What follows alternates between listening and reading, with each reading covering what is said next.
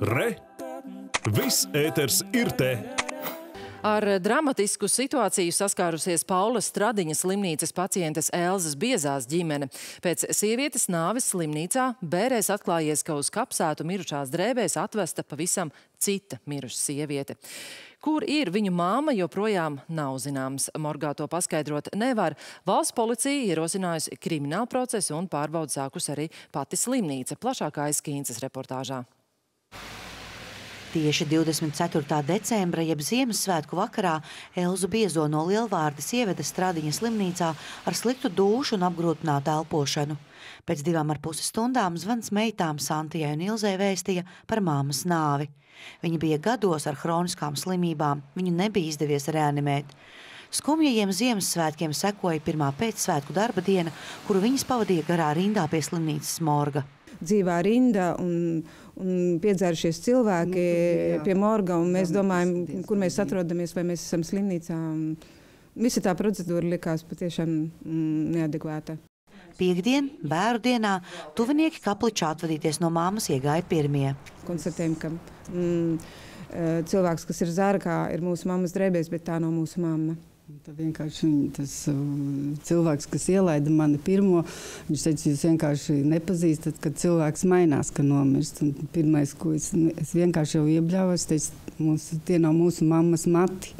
Jo mūsu mammai mati bija vienkārši mati bija skaisti. Skaisti, skaisti balti mati.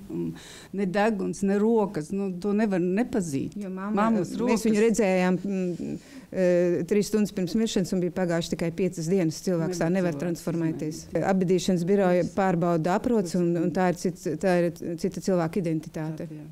Situāciju centās glābt mācītājs, aicinot bērniekus uz baznīcu. Tikmēr apbedītāji ar svešo mirušo sievieti un Elzas biezās fotografiju devušies atpakaļ uz stradiņiem, cerībā samainīt mirušās. Taču morgā atklājies, ka tas nav iespējams, jo visticamāk Elza biezā jau izsniegta citiem un apglabāta. Kā bērnieki to nepamanīja, nav saprotams. Meitas vērsās policijā, kur uzsākts krimināla process. Policija ir veikusi sākotnējās izmeklēšanas darbības, un šobrīd turpinās izmeklēšana, kā arī vēl ir jānopratina vairākas personas. Valsts policija ir noskaidrojusi iespējamo kapu vietu, kur varētu būt apglabāta mirusī, un tiks izskatīts jautājums par ekshumāciju, bet otrai mirušajai sievietei kura nav apglabāta, tiks veiktas DNS ekspertīzes. Savu pārbaudu sākus arī Strādiņa slimnīca. Mēs gribam no sirds atvainoties piedrīgajiem un no savas puses apliecināt, ka tiks veikta iekšējā pārbaude tiks pieņemti visi preventīvie mēri un darīts viss, lai turpmāk šādas situācijas vienkārši nevarētu atkārtoties un nenotiktu. Tāpat slimnīca iesaistīsies visu jautājumu risināšanā, kas saistīta ar Elzas biezās atrašanu un apbedīšanu.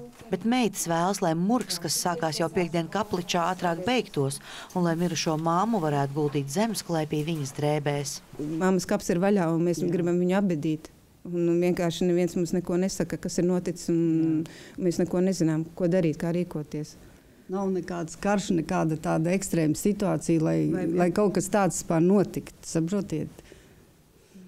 Abedīšanā darbojas četru acu princips un mirušā personība pārbauda gan morga darbinieks, gan abedītājs. Taču aizvien vairāk ir bērnu, kur zārku neatver vispār. Tas varētu izskaidrot situāciju, kādēļ otra ģimene apglabāja svešinieci, nevis savu tuvinieci. Aikīns Ains Kupčs, Latvijas televīzija.